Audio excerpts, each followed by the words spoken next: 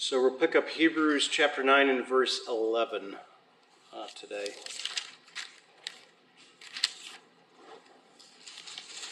As far as the reading, and then uh, we'll pick up in verse 15 for what we're actually going to talk about. And we're going to spend some time in the Old Testament. And we're going to talk about the devil. So that should be fun. All right, so Hebrews 9, beginning in verse 11. But when Christ appeared as a high priest of the good things that have come, then through the greater and more perfect tent, not made with hands, that is not of this creation, he entered once for all into the holy places, not by means of the blood of goats and calves, but by means of his own blood, thus securing an eternal redemption. For if the blood of goats and bulls and the sprinkling of defiled persons with the ashes of a heifer sanctify for the purification of the flesh, how much more will the blood of Christ, who through the eternal Spirit offered himself without blemish to God, purify our conscience from dead works to serve the living God? Therefore, he is the mediator of a new covenant so that those who are called may receive the promised eternal inheritance, since a death has occurred that redeems them from the transgressions committed under the first covenant. For where a will is involved, the death of the one who made it must be established. For a will takes effect only at death, since it is not in force as long as the one who made it is alive. Therefore, not even the first covenant was inaugurated without blood. For when every commandment of the law had been declared by Moses to all the people, he took the blood of calves and goats with water and scarlet wool and hyssop, and sprinkled both the book itself and all the people, saying, This is the blood of the covenant that God commanded for you. And in the same way, he sprinkled with the blood both the tent and all the vessels used in worship. Indeed, under the law, almost everything is purified with blood, and without the shedding of blood, there is no forgiveness of sins. Thus, it was necessary for the copies of the heavenly things to be purified with these rites, but the heavenly things themselves with better sacrifices than these. For Christ has entered not into holy places made with hands, which are copies of the true things, but into heaven itself, now to appear in the presence of God on our behalf. Nor was it to offer himself repeatedly, as the high priest enters the holy places every year with blood not his own. For then he would have to suffer repeatedly since the foundation of the world, but as it is, he has appeared once for all at the end of the ages to put away sin by the sacrifice of himself. And just as it is appointed for man to die once, and after that comes judgment, so Christ, having been offered once to bear the sins of many, will appear a second time not to deal with sin, but to save those who are eagerly awaiting for him. Okay. So just call your attention to verse 23. Thus it was necessary for the copies of the heavenly things to be purified with these rites, but the heavenly things themselves with better sacrifices than these. Let that reverberate throughout your brain tonight. Okay, so as we talked about last week, uh, the old covenant wasn't dismissed or discarded, it was replaced. We still need a high priest, we still need a house and a place and an atoning sacrifice. Uh, but it's better because it's the new covenant in Christ. Both those covenants had rules and procedures. And uh, in the old covenant, no one could see all the steps. Only the high priest saw all the steps. So it was only revealed partially to others. Uh, the high, uh, the priests saw a lot of it, but not everything that the high priest saw, and then the people only saw a part of it, uh, not everything that the priests were privy to.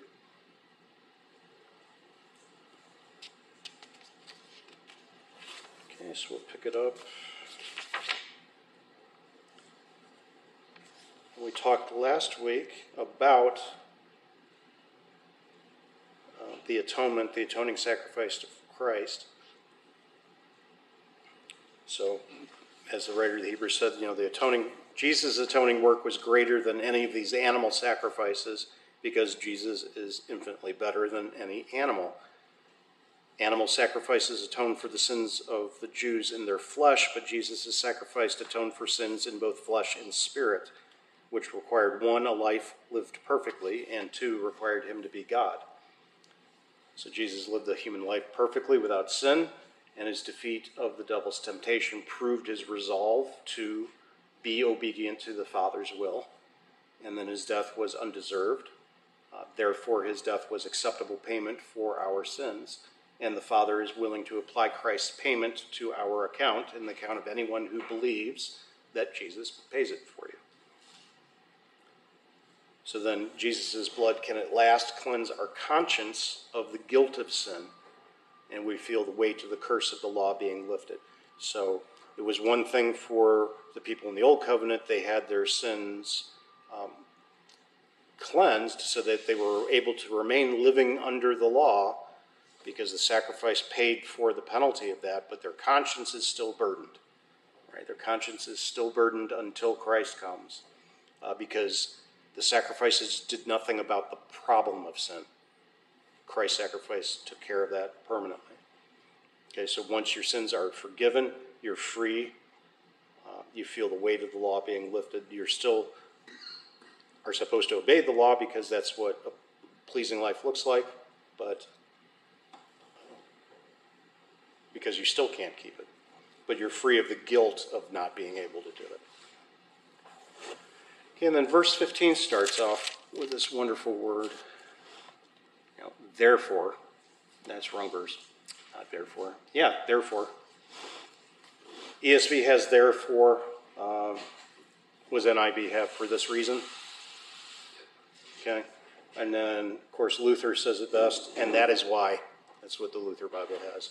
And this is why. This is why these things happened. Okay? Because our consciousnesses could not be cleansed. Something better was required, and Christ became that mediator for the new covenant. Um, it's required, and it's better because of the blood because of the death that inaugurates that New Testament. Okay, so the word redemption means to pay a ransom. When you are redeemed, someone has paid a price for you to be redeemed. And then transgression is the same as sin. So transgression, sin, redemption, payment. Um, the old covenant never required human sacrifice, right? Not like some. It always gets everybody all of a sudden looks up. What? No, Right. The Old Covenant didn't require human sacrifice, it required animal sacrifices, which God accepted as substitutes for payments for disobeying the law. The New Covenant, however, requires a human death, a human sacrifice. So we either enter this new covenant with Christ or we don't. Either we die because still the bill comes due, either the redemption price was paid for you by you believing that Jesus' sacrifice did it, or you still owe that payment. You don't believe, whether you believe it or not, the bill comes due. You have to, there is still a human sacrifice required. Your eternal soul is going to burn. That's the payment for our wicked lives here. Okay, so regardless of what you do in the new covenant, uh, human sacrifice is required. We might not think of just dying being a sacrifice, but that's what it is. Okay, so either we pay the penalty or Christ did. Okay, so what makes this new covenant better? Because it begins with a death. All covenants have to have a death. Blood has to be shed. That's what a covenant is. Okay, so it's better because it provides a sacrifice to pay for all the sins committed under the old covenant, wiping out all the sin debt. So it wipes out the sin debt of Israel under the old covenant, which was a debt to God which required repayment. And the payment is, again, a life. Since you didn't need human sacrifices under the old covenant, the old covenant couldn't pay off the debt. Okay? That debt was still owed. You know, it paid off the penalty of the paid off the penalty of the sin, but it didn't pay off the sin. It didn't redeem you from that. It just meant I, I wrote this down better so that I could explain it. Uh, where did I write it? Because it sounds like I'm saying the same thing twice, and I know that. But, but, but, but. Really? Somewhere I wrote this down where it was really, really clear. Uh,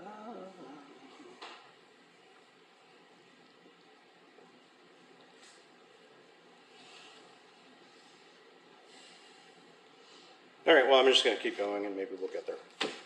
All right, so regardless, the payment for sin is a human life.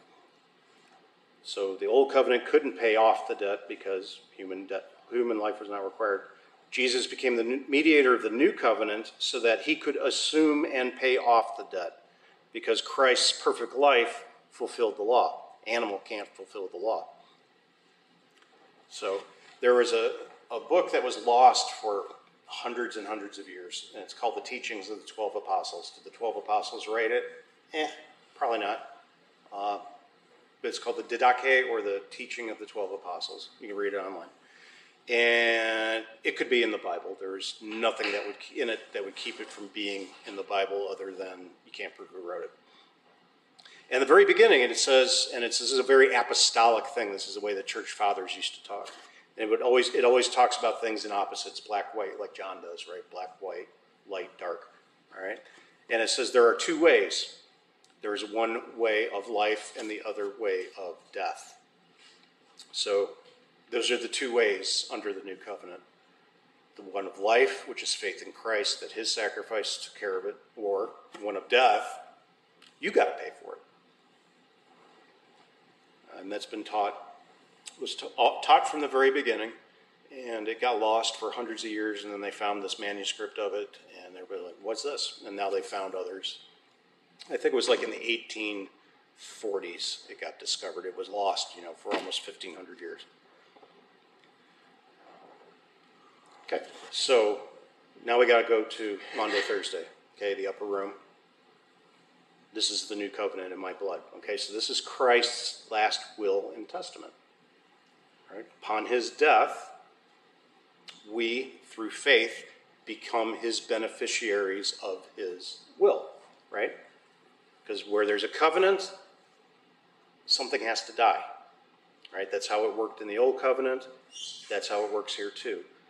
So before the covenant can begin and God delivers on his promises, something had to die. In the old covenant, God commanded Moses to sacrifice animals to activate it.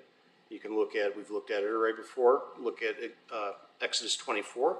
Moses and the elders meet with the Lord at the altar. They performed a sacrifice, collected the blood, sprinkled it on the book of the covenant, as the preacher to the Hebrews just told us and sprinkled it on the people. And the blood signifies that an agreement is now active. The shedding of blood activates the uh, covenant. Covenant literally means to cut. So if you were making a covenant with somebody, you'd take your animal, you'd hang them up, you'd slice it in half, and you'd walk through the blood. You'd walk through the two halves, both parties. And so in that shedding of blood, now it's a blood bond. It's, it's uh, official. Something had to die for it to be official. Okay, so that blood signifies that something's in action that would only be broken by another death. Okay, so once the tabernacle had been built, the practice of sacrificing was altered by God a little bit. Blood was sprinkled by the high priest, and all the appointments in the tent, all the furniture had to get baptized, baptizo, to wash, washed with the blood. Uh, and that cleansed those things to be used in the tabernacle in liturgical use. Now, since we're all sinners, and they were all sinners, there was need of continual sacrifice because you're still a sinner. Even though your sins have been forgiven, you're still a sinner. And they're like, well, that still happens today. We'll get to that with the new covenant. So there still had to be continual bloodshed because you had to keep paying for the sins. So you had to keep anointing the tabernacle, the people, the priests. Blood had to keep being shed because it wasn't a one and done, it was continuous. You sin, and you're going to still be in there being a priest in the tabernacle. Well, you're going to make these things in the tabernacle impure. You got to anoint them with blood too. You have to keep doing this stuff.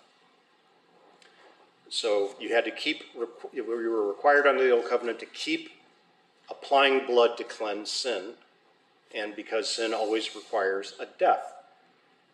But this blood in the Old Covenant is a type, a typology, we say, or a type of something that's much greater. And of course, that is going to be Christ's blood shed on the cross. You look like you have a question. No question? Question? No question? Question? Okay. So Christ's blood, of course, is a much greater, more powerful sacrifice, does things a little different. So now the preacher is going to set out to explain how it's different, how in the new covenant in Christ improves upon the old covenant, and it's all for our sake. And it begins by saying what happens in the tabernacle. So we're staying here on earth in the temporal realm.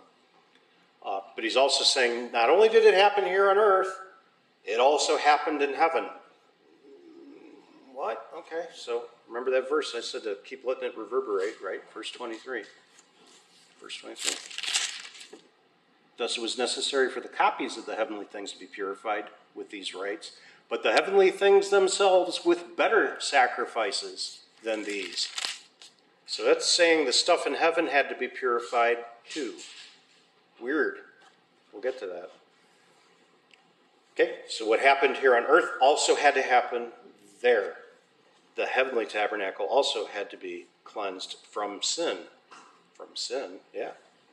Why would the heavenly tabernacle require such cleansing? Paul explains it, so we have to use the Bible to do some detective work here. So Paul explains that there is wickedness beyond just what is here on earth. Let's look at Ephesians 6 12. Ephesians 6.12 says, hmm? Ephesians 6.12. I yeah, 12. And this is that section, put on the whole armor of God, right? For we do not wrestle, everybody knows this, for we do not wrestle against flesh and blood, but against the rulers, against the authorities, or against the cosmic powers over this present darkness, against the spiritual forces of evil in the heavenly places. Huh. Let's read that again. For we do not wrestle against flesh and blood, but against the rulers, against the authorities, against the cosmic powers over this present darkness, against the spiritual forces of evil in the heavenly places. Now, what Paul's cautioning us there is you have to put on the armor of God because you're fighting something that's not mortal, that's not human, right? You want to go out and fight a human, you put on body armor, you strap yourself up with some like grenades and guns and stuff, and you go to war. But that isn't going to work against demons because he's a demon. So you're going to need spiritual armament, the whole armor of God. But then we're like, okay, so though it's behind what's behind the scenes, what's behind the veil a little bit is all the problems in the world. Well, yeah, the devil's got his fingers in it. So yeah, that's who you're really fighting. Uh, so don't don't go to an exorcism with an with an AK-47. It's not going to turn out well for you. You go to an exorcism with the Word of God. That's the weapon. That's neither here nor there. But Paul is talking about Lucifer. Okay, he's talking about the devil, Satan, the accuser, Satana, of the accuser, as in the prosecuting attorney in a court of law. Okay? And he can move between, or he could at one time move between heaven and earth freely. Let's look at Job chapter 1. Great book. If you haven't read Job, time to read Job again. What verse?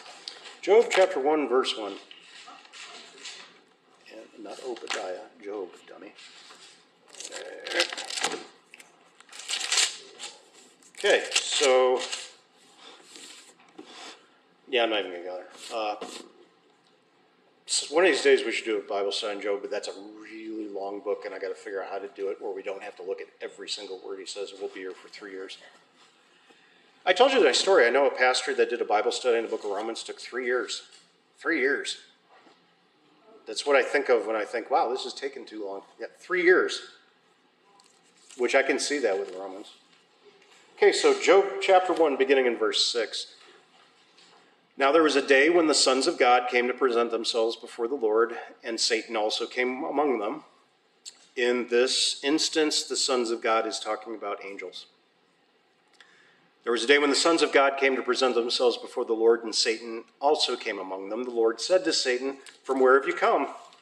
Satan answered the Lord and said, From going to and fro on the earth and from walking up and down on it. And the Lord said to Satan, Have you considered my servant Job, that there is none like him on the earth, a blameless and upright man who fears God and turns away from evil? And Satan answered the Lord and says to Job, Fear God for no reason. Have you not put a hedge around him and his house and all that he has on every side? You've blessed the work of his hands, and his possessions have increased in the land. But stretch out your hand and touch all that he has, and he will curse you to your face. And the Lord said to Satan, Behold, all that he has is in your hand, only against him do not stretch out your hand. And so Satan went out from the presence of the Lord. So God said, Yeah, do your worst. He's going to be fine. And spoiler alert, yeah, Job eventually winds up fine, but it's, it's a hard story to read. Biggest takeaway from Job, which I tell everybody this, is if, if you feel you need to pray for patience, go read Job first and then think if you really want to do that. Because the way God teaches patience is he gives you trial. That's how he makes you patient, is you are going to suffer. You may want to think that over. Do you really want to pray for patience? Is that what you should be praying for? Are you asking the right question? Okay. Hmm? Strength is probably a better word. Because patience means you're doing it on your own. I mean, it is one of the fruits of the Spirit, but is, that is it really what you're asking for when you ask for that? Maybe not. All right, so we see Satan could walk right up to God in the throne room and say, okay, hey, you know, I've been on earth. Nice. Oh, well, did you check out this guy? Yeah. But you've protected him. So, of course, he loves you. But let's do this and find out what if. God says, fine. That's what we're dealing against. AK 47, not going to work. Now let's look at Ezekiel 28, because that's also going to tell us about this desecration that happened in heaven. How did sin enter a heavenly place? So is Ezekiel 28, beginning in verse 12.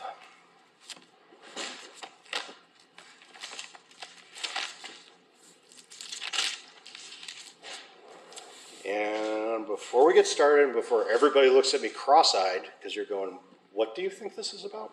Okay, this is one of those wonderful passages from the Old Testament that's about more than one thing.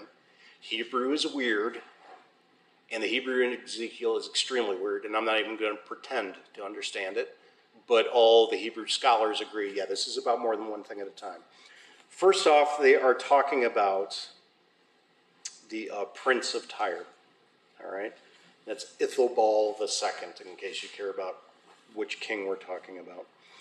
Uh, I've never heard of Ithobal II from history. Yeah, he wasn't that big a deal. So he, he was a bad guy. And Ezekiel is going to compare him to Satan. And so he's going to do this in kind of an allegory where he's actually condemning.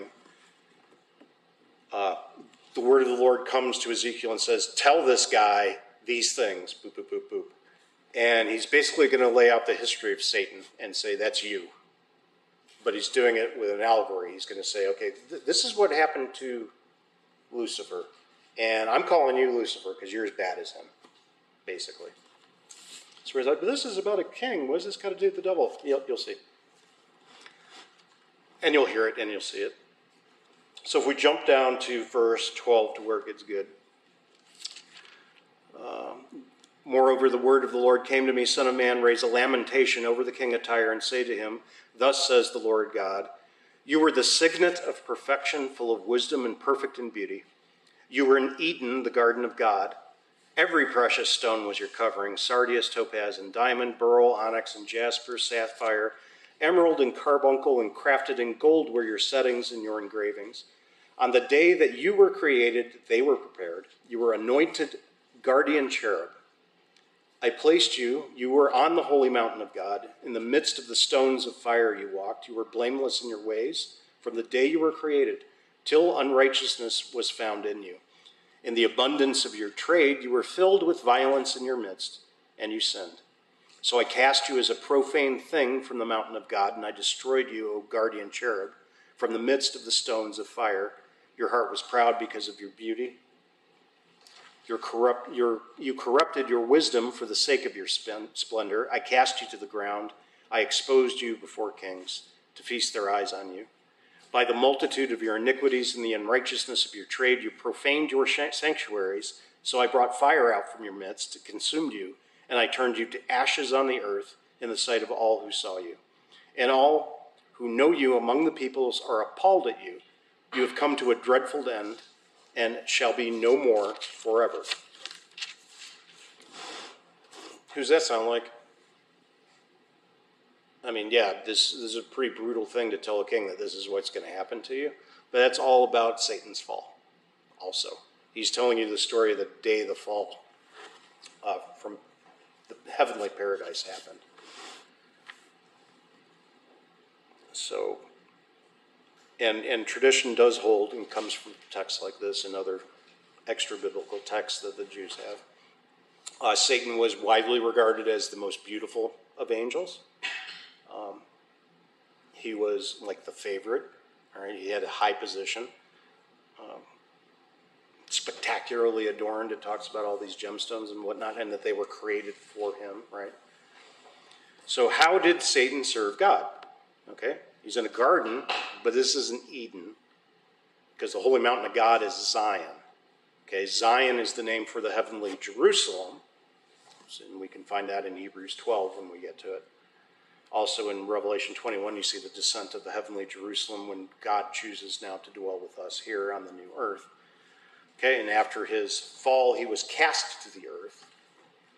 So therefore, there is a heavenly Eden upon which the earthly Garden of Eden was based. Because as with most things, there is a heavenly version and the earthly version that's just a pale comparison of it, just like the tabernacle and the temple was a pale facsimile of the throne room in heaven. Okay?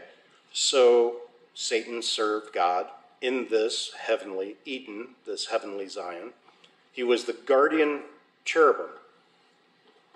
Okay, so what do we know about cherubim? Okay, there were the two things sculpted on top of the mercy seat of the Ark of the Covenant, right? So they were the guardians of the mercy seat on earth.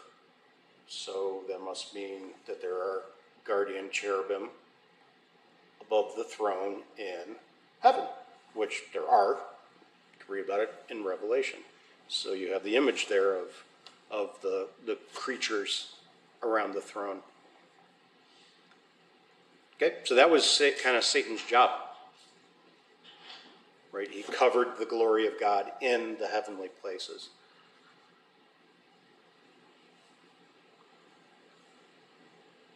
Okay, and then Ezekiel says Satan profaned his sanctuaries, the heavenly places. He profaned it in the tent, the holy place, the most holy place in heaven, right there at the throne of God. So Satan somehow defiled those places in heaven. So, how did it come that Satan fell and was able to desecrate those heavenly faces? Well, Satan succumbed to pride.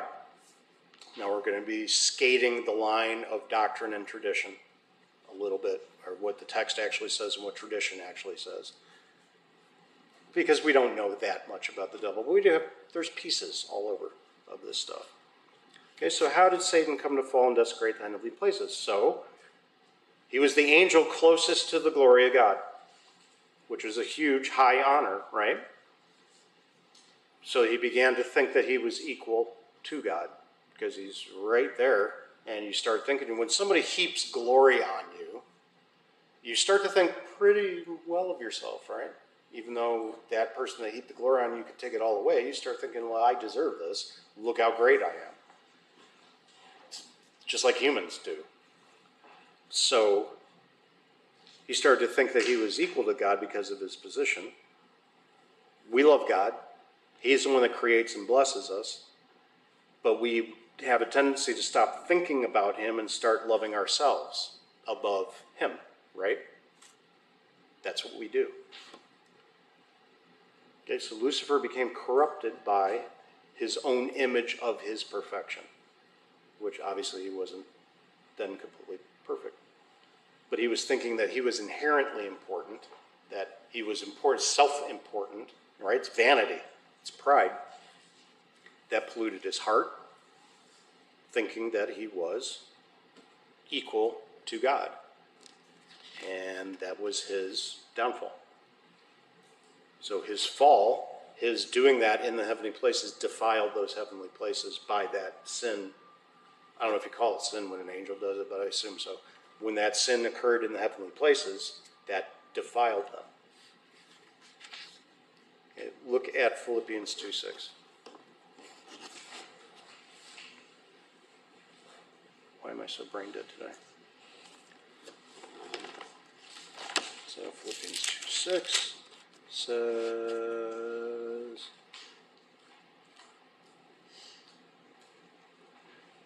Go back to 5. Have this mind among yourselves, which is yours in Christ Jesus, who, though he was in the form of God, did not count equality with God a thing to be grasped. Okay, so that's talking about Christ. So, as the Son of God, Jesus is God. He doesn't just look like God, he is equal to God. He can't be less than fully God. But he didn't hold on to that privilege. That a word we should use anymore today? The way it gets thrown around. So he didn't think that that privilege of being God it was something to be grasped while he was here. He didn't use his divine nature all the time. He used it like fractionally. Right? Most of the time, he was just a guy living a perfect life on earth. He didn't cheat. He didn't use his divine nature to make sure he didn't sin. His human nature didn't sin. But then his whole nature, God and man died on the cross. Both God and man died, so God died. Right? He didn't think himself, he didn't think that was something to be grasped in his condition, to be the Savior of the world.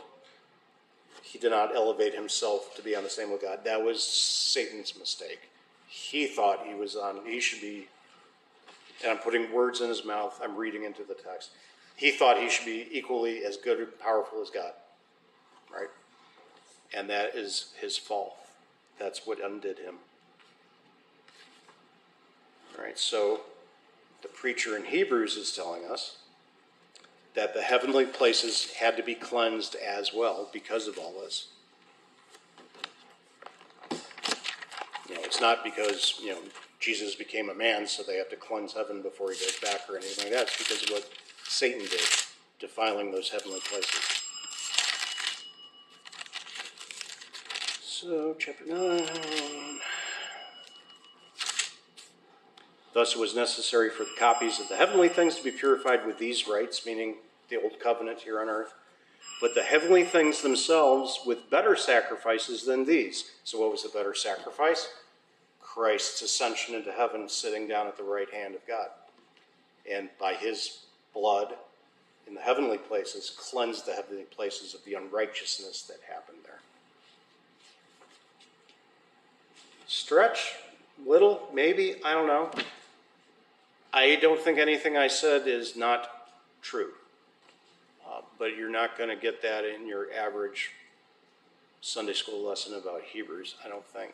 Uh, that's just from putting a lot of pieces together because I study angels and demons. So, like, the history of Satan is very fascinating to me. Uh, where all of our traditions and, and iconography and everything else come from. And the biblical evidence I shared with you kind of paints that picture. And the text does specifically say, you know, that those heavenly places also had to be cleansed.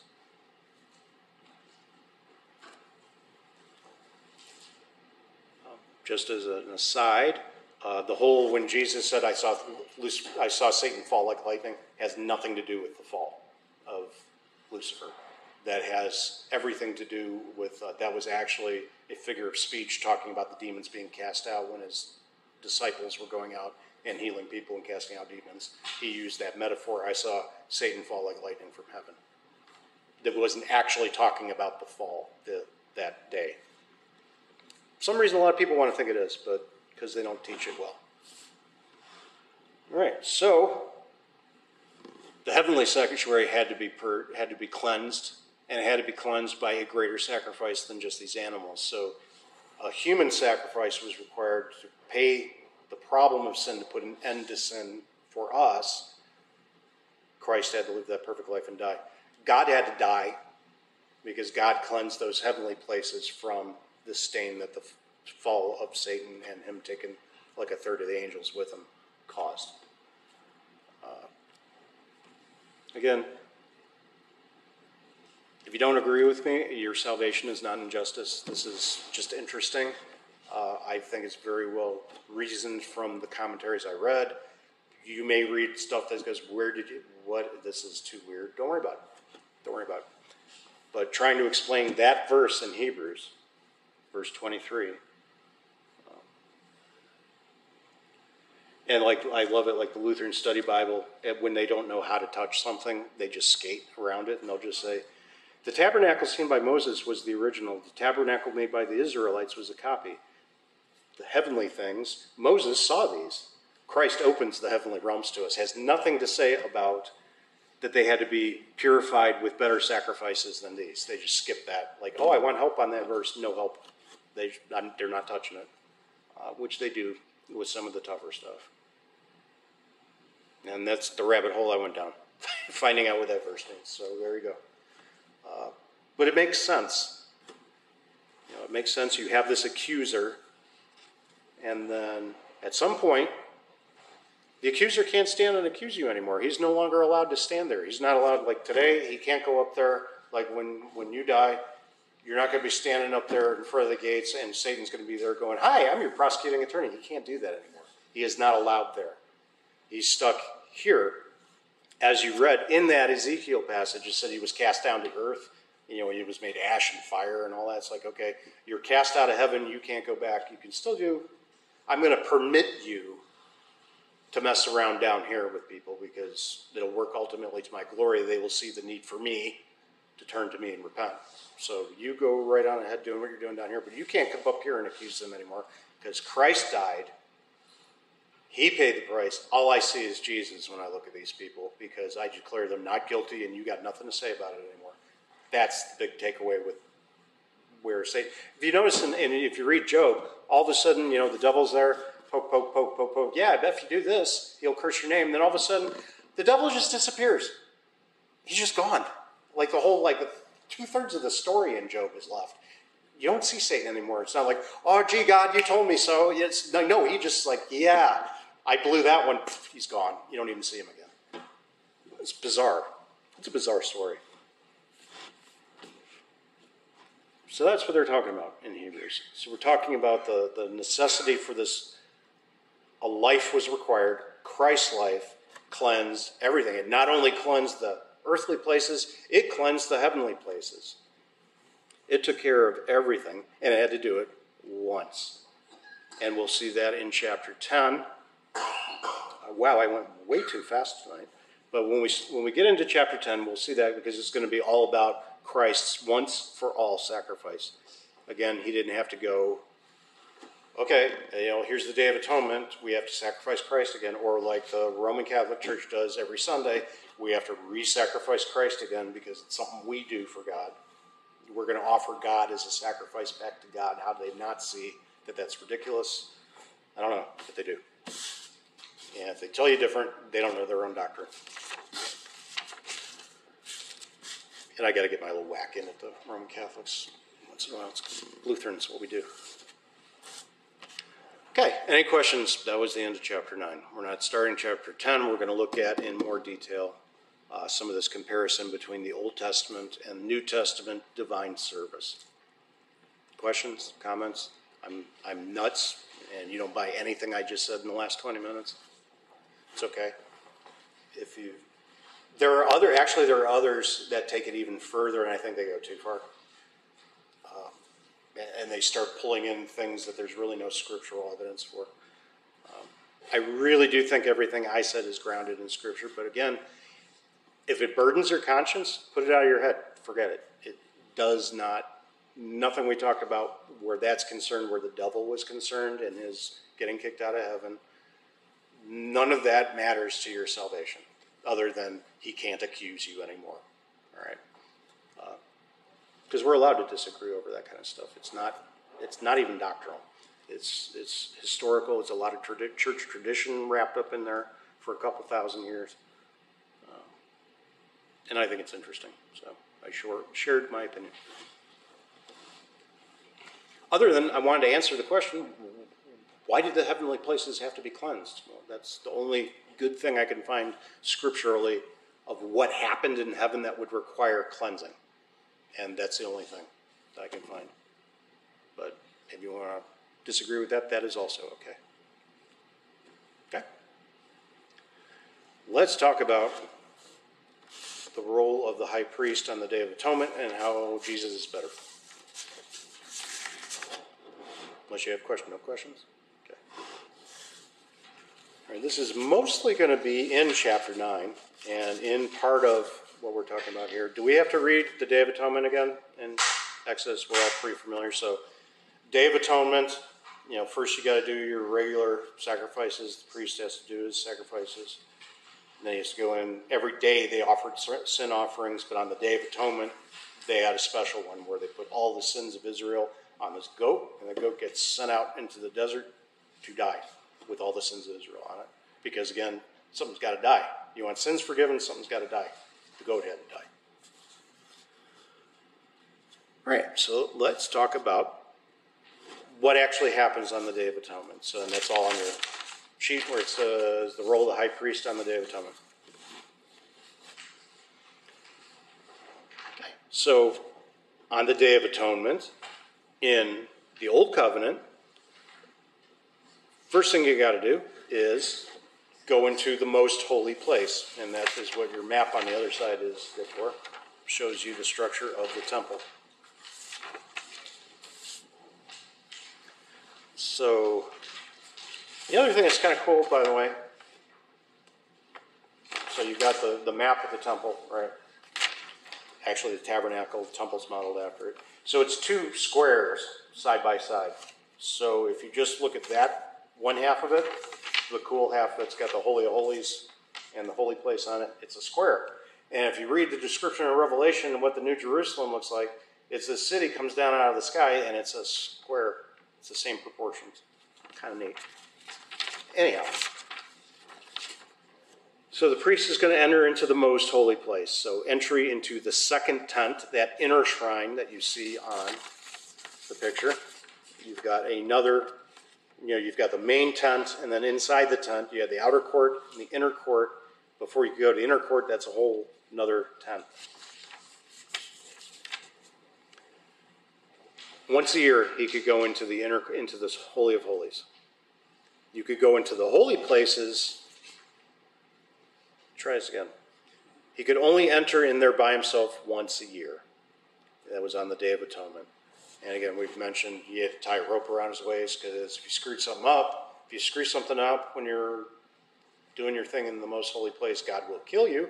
And nobody else can go in to get your body out because they're not allowed to go in there unless they're the high priest. So they could pull him by the rope and get his body out of there. Uh, otherwise, that would be bad. Okay. So entering the second tent, the inner shrine by himself once a year. Then Christ, as our high priest in heaven, well, he entered into the heavenly place, the most heavenly place, the right hand of the Father, also once, but once forever. Okay? So it's not like a high priest who is moving into a copy of, you know, a three dimensional facsimile of the most holy place in heaven, which represents the most holy place in heaven. He actually is going into the most holy place, the presence of God, the right hand of the Father. And he, he does that once, and he never has to enter it again. He does once by way of his all atoning sacrifice. Right? So he enters into heaven, the real thing, not a copy. He's not acting on behalf of anybody. He's the real deal. He is the high priest. He is the sacrifice, which brings us to the next line. So you have to have you have to have sacrificial victims. You have to have things that die. Goats and bulls every year, every day, actually. Goats and bulls have to die for the sins of the people and of the priests. Jesus is the one time atoning sacrifice for all. Why was it good enough for all time? Because he's God. Because he's perfect man. He's also God. And so, perfect man, perfect God died and came back to life. And you never has to die again because you only died once. But that paid for everything, which is going to be what the next line is about. I keep getting ahead of myself. So, the purpose of the sacrifice, right? The high priest offered sacrifice on account of his own sins. because he has to be cleansed before he can stand in behalf of the people and cleanse his sins. And I think we talked about this before. That's why I commune myself before I commune anybody else. There's like, why does he do that? Number one, because they teach you to do it that way. And the reason they teach you to do it that way is because it actually teaches something. The thing it teaches is I am receiving the benefits of the Lord's Supper, the forgiveness of sins before I give it to you guys. Wouldn't you want me to have my sins forgiven before I start handing this stuff to you? It's were representing the same thing you saw the priest do. They had to offer the, the sin offering for themselves before they offered the offering for the sin of the people. So I am taking that benefit of forgiveness of sins for myself. And then if you read, like in the little rubric in your hymnal, it said, the pastor then communes those who assist him, and then they commune everybody. Because whoever's going to assist me, if I have that for the distribution, I commune them next. Don't do them last, I do them next because they're going to be handling these sacred things to give it to you. So you want their sins to be forgiven too. That's what that represents. So it is teaching something. Because some people are like, well, why is the pastor got to go first? Is he better than everybody else? No, he's worse than everybody else. That's why he goes first. That's the actual reason. Okay, so he had to offer these sacrifices on behalf of his own sins. And then he has to offer the sacrifice on account of the people's sins of ignorance. Ooh, what's the sin of ignorance? That's the sins you do that you didn't know you did. Right? Which is also why we don't have to enumerate all of our sins when we go to confession because we'd never leave because you can't remember them all. So you have, what is that, 9 7? Spells it out, or was it in chapter 7? But into the second only the high priest goes, and he but once a year, and not without taking blood, which he offers for himself and the unintentional sins of the people. So, again, yes, the Day of Atonement, all the sins of the people are paid for, but especially on the Day of Atonement, that's all the sins you don't, your sins of ignorance, your sins you don't remember you did. And that especially because they were offering sin offerings every day.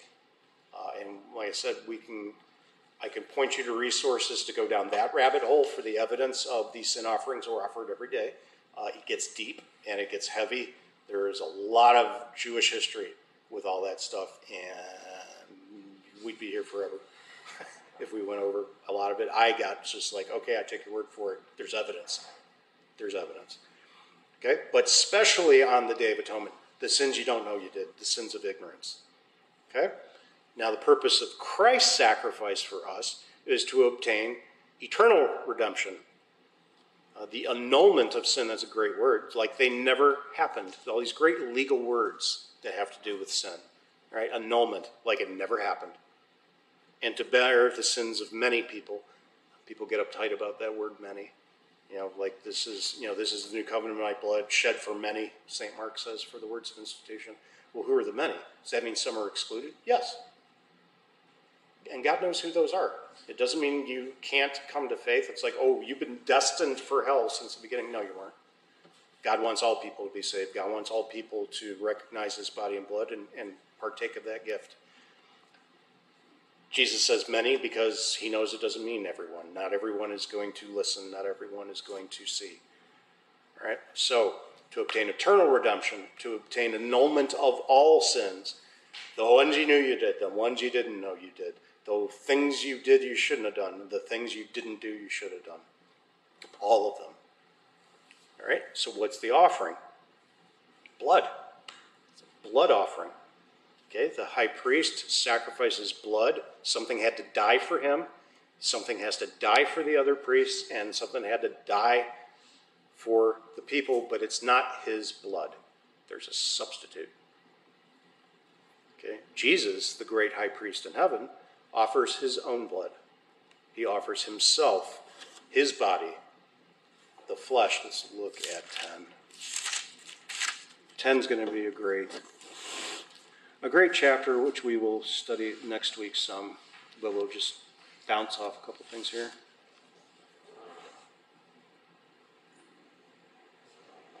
Uh, who is he quoting? That is. Yeah, this is Psalm 40. And we'll look at Psalm 40 a little bit more maybe next week. So, consequently, when Christ came into the world, he said, Sacrifices and offerings you have not desired, but a body have you prepared for me. In burnt offerings and sin offerings you have taken no pleasure. Then I said, Behold, I have come to do your will, O God, as it is written of me in the scroll of the book. Um, so Christ, quoting the words of the, actually the preacher of the Hebrews, quoting Christ, quoting Psalm 40, David speaking about the sacrifice of the Christ. Uh, every priest stands daily to service, offering repeatedly the same sacrifice.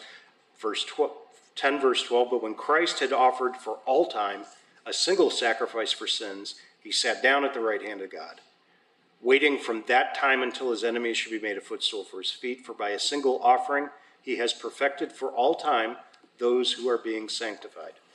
Okay? So that's the preacher explaining what Christ's atoning sacrifice did. So that word sanctified again means to make holy.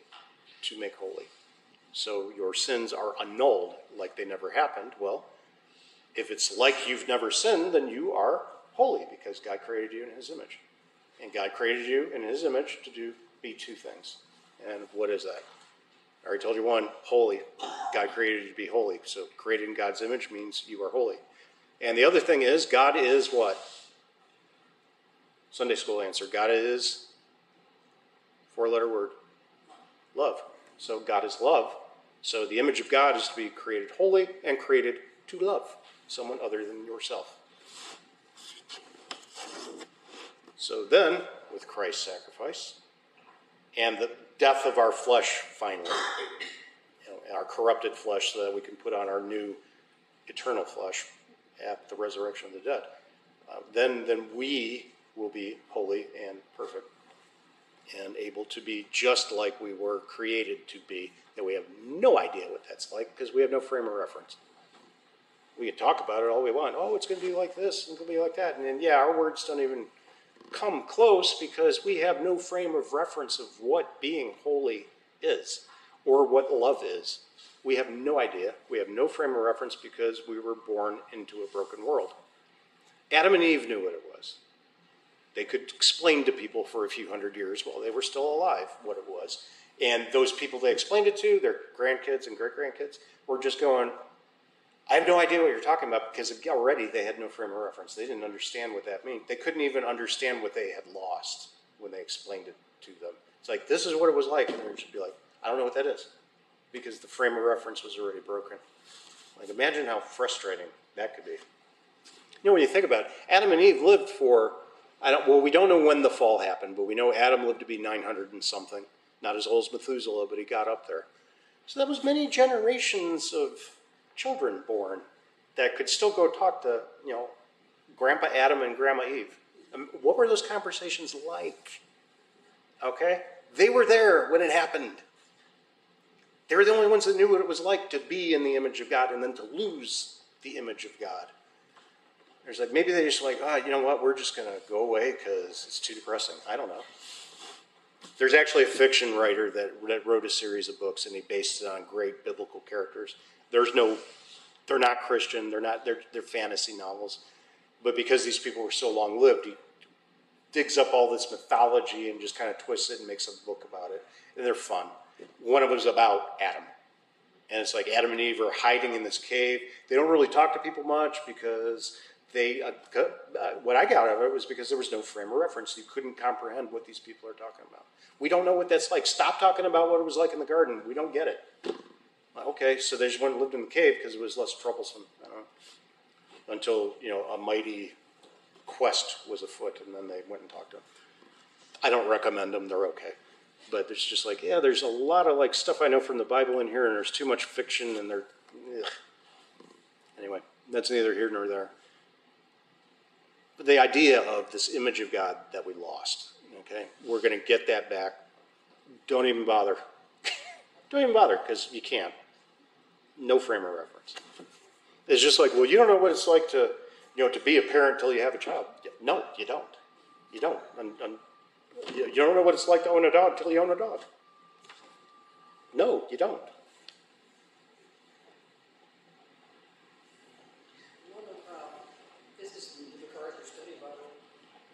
On the day of atonement,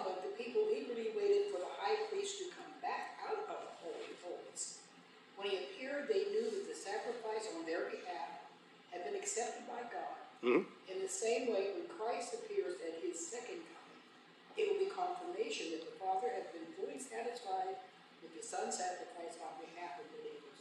At that point, salvation will be consummated. Yes, and that is true. And we will get into those words a little bit further into the book. We're, we're getting, we're getting, and we're on the home stretch. But yeah, because you're going to think, well, the consummation hasn't taken place yet. Yes, your sins are forgiven. Christ atoned for all of your sins, but it ain't over till the last day when he comes again in his glory. Because there has to be the final judgment. And the final judgment is going to be not guilty, not guilty, not guilty. And unfortunately for some of the people out there, yeah, you're going to the other place and it's too late. Uh, and then Christ will return in his glory. And then, yes, that will be the, the consummation, is a good word, of salvation history. It will be, it's finished, but it ain't over. Yeah, we talk about the priest Right. coming out, but we don't, let's kind of, we kind of stop right there, where this things that his coming out, being pulled out or whatever. Right, and- and That's the- significance. And that's a good and that's a good way to think of it because again, when you see something happening here that God said, "Okay, you guys got to do this," and it will be a uh, you know remembrance for all your generations. It's got to be a model after something in heaven, probably, and so that's what it is. It's a model. Of the priest not having to get drug out by the by the rope is going to be like Christ returning on the last day from from heaven, not at his second coming. Um, I imagine if they, I imagine it was really quiet in the camp when they had to pull him out by the rope. And it's like, so what do we do? Like, um, New high priest. yeah, and the new high priest is going, oh man, really? Might be next. It's like, what? No, the other guy. Also speak of two advents. His first advent was to save us from the penalty of sin. Mhm. His second, pardon, his second from the power of sin. Yeah, the power of sin, which is death. And Yep. His second advent to deliver us from the presence of sin. Yep, and that's what the word Advent means. It just means coming. You know, Epiphany is a revealing. So, like, what's Epiphany? Is Epiphany was well, I mean, Christmas was a revealing to the Jews, which they ignored, and then Epiphany, right, when the wise men come, that is his revealing Epiphany to the Gentiles, and then that was his first Advent was his thirty some, thirty three some years on earth. His second Advent will be when he comes again at the end. You know, not just season of the church here, though it is, but um, I was going to say. I had something really profound to say, and I forgot. Advent coming on the last day. Glory. I don't remember. Guess it wasn't that profound. Uh, so, yeah, think about there's usually a parallel between these actions that we're given to do here on earth. There's usually a parallel to something happening in the heavenly realm or the overall universe. Okay? So, because Christ being sacrificed and the high priest that offered it, so now what's the result? Well, you have purification of, in the Old Covenant, you had purification of the earthly copies of stuff. Uh, or the author of the commentary uses the word antitype. I think he's using the word antitype in this context incorrectly. So just call it a type or a typology. He's using antitype as a synonym for that. All a type is is an allegory or a parallel. You know, so like the the temple is a type of the heavenly throne room. It's an it's a foreshadowing. It's not as glorious as, but it points us to kind of what it's like. Okay, or um, let's see, trying to think. You know, the, the scapegoat, the you know the the atonement, the Day of Atonement. That that scapegoat that goes out in the wilderness to die with all the sins heaped on it. That is a type of Christ, a typology of Christ. It's going to be kind of what, Christ does, but Christ is going to be even greater and more perfect, more complete. So that's all a type is. And they use that word all the time. Um, the uh, wine and bread that Melchizedek brought out to Abram. That's a type of the Lord's Supper. It's gonna, it's a fellowship meal. It's going to point toward what Jesus is going to do. It's not the same, but it's going to be similar. It's pointing to it uh, because Melchizedek is this priest and also king, which is what Jesus is. All right, so the purification of the earthly copies of this stuff. So the holy place is kept pure, the most holy place is kept pure. The appointments in the tabernacle and later the temple are kept pure. The priests are kept pure. The high priest keeps pure. All of this so they can even be ready to begin to offer these sacrifices, which had to be pure and without blemish. I mean, you couldn't just go up there and slaughter any animal, it had to be the best. Uh, that was what the issue was with Cain and Abel, right? So Abel offered the first fruits of his flock, and he burned the fatty portions because God likes to smell of the good stuff burning on the altar. So he offers the best. Cain just made an offering. I mean, it's not that he didn't do his duty. He offered, but he didn't do it with a glad heart. He didn't offer the best. Did he offer the youngest, tenderest shoots of whatever he grew? No. He just burned something and said, Here, this is for God. Abel joyfully gave the best. That's what the problem was, not because one was a. You know, it's like, well, Abel gave you know an animal, and Cain just gave like fruit or what grain. Well, Cain was a farmer. That's what he did. He just didn't give. He gave it begrudgingly, like, oh, I have to do this, so I'm going to do it. But yeah, right. That's what his problem was. Right. So all these these offerings have to be pure, without blemish. Of course, Christ is pure, without blemish, sinless. It was purification for the heavenly places, purification of the conscience of those here. So, yes, your sins were forgiven, but I'm still a sinner. Ugh. Well, you offer another sacrifice tomorrow for those sins. And then the next day, and then the next day. For us, it's different because he offered his once for all sacrifice for the sins of the world. Not only, oh, my sins are forgiven, the guilt of sin is gone. Yeah, I'm still a sinner. So what? Now, that just doesn't mean no, I don't go sinning like crazy because I'm forgiven. It's, yeah, I'm still a sinner, but so what? Christ covered it. Yeah, I'm gonna, I got to work on it. Yeah, I have to repent because I'm still a sinner. I know I'm worthless, and I'm thankful for that gift. And I know what a God pleasing looks life looks like, and I'm not living it. But I'm not afraid of death. I'm not afraid to die because I know where I'm going when I do. And then this struggle with my conscience, this struggle with sin will be over. And that's what we look forward to. So when somebody dies, yay, they're free. Yeah, we'll miss them, but they're free. We're not. That's why ugh, we're still here. We struggle, with sin. And And struggle ain't a good word for it. I would rather, wouldn't the word awareness of sin, when you say struggle, it makes me think of we have, to, we gotta overcome this, and we can't. No, you can't. Okay. But aware that it is always with us, and to, sounds crazy, but to live with it to the glory of God in making what we do and say heavenly minded. Mm-hmm. You know, but I, I don't like, well, Yes. the struggle is a fight. You know, and we're not, fighting sin is useless. It's, you know, Yeah, yeah. awareness of it is, and then you go on with whatever it is that you do to overcome it. But I think it's awareness of the guilt being gone. Because we can say that the Old Testament people, you know, were aware of their sin, and that was the problem. Their conscience wasn't eased by these sacrifices. Like, yeah, I sinned, I offer the sacrifice for the sin, and I'm still a sinner, and I got to offer another sacrifice for my sin. Am I truly forgiven or not? Yeah, they have faith in the Messiah to come who's going to take all this away, and that faith is what saved them. But under the law, living in that system, you're never sat. God's never satisfied.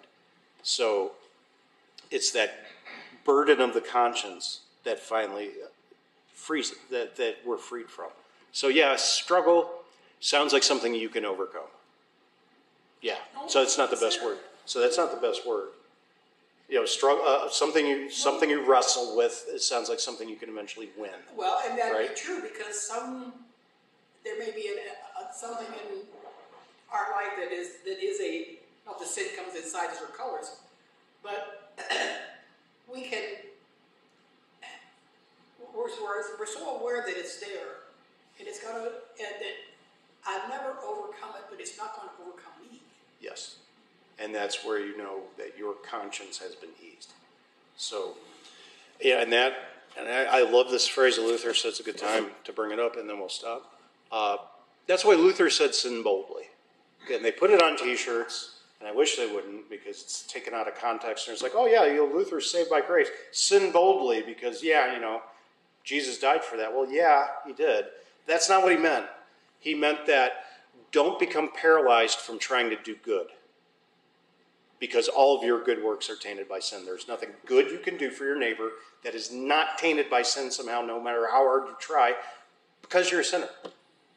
But don't let that paralyze you. Well, I might as well not do anything good because even the good things I do are sinful. No, sin boldly and do them. That's what he meant.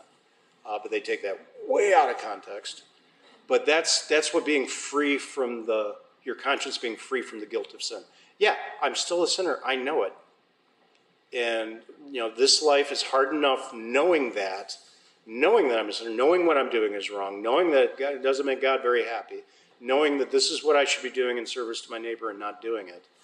But at least my conscience is cleansed, knowing that Jesus died for that.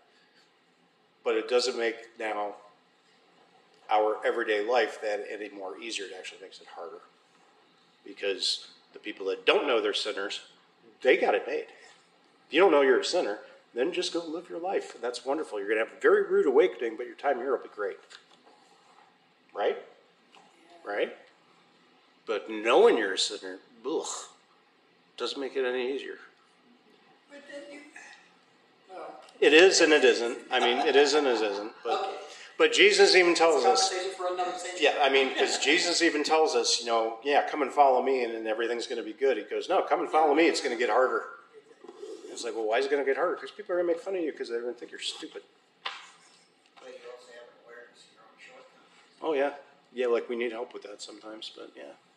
I mean, you have that constant reminder. It's like, well, I'm not as wonderful as I think I am, and that's the second use of the law. So let's review that real quick. Right, three uses of the law: the curb, the mirror, and the guide. The curb's the one written on your heart. We know instinctively right and wrong. It's wired into us. God put that there so society wouldn't devolve into complete chaos. Second use of the law: the mirror. You hold the mirror up to yourself. The law holds up a mirror to you, and all you see is sinner. And if it ain't doing that, mm, you got a problem. Uh, and then the third use is the guide. Okay, what's the guide? The guide. It's the handbook. How to live a good life. It looks just like the law. It's the Ten Commandments kept perfectly. Love the Lord with all the Lord thy God with all thy heart, with all thy soul, with all thy mind, and your neighbor as yourself. You could do that. You're living a God pleasing life. Oh, yeah, but then it's going to inevitably turn back into the mirror because that third use is going to go, yeah, I didn't do that. Oh, no, it's the mirror again showing that I'm a sinner. I'm in trouble. Oh, I'm okay. Jesus died for. I'm a sinner in need of a Savior. Now the gospel can work. Yeah, Jesus died for that too. But if that mirror isn't showing you a sinner back, then the gospel doesn't do you any good. So that's why we have those three uses of the law. The mirror kind of is always there, always turns back into the mirror as long as we are still here. It will always, always turn into the mirror because the law always accuses. And that's where we'll stop for tonight.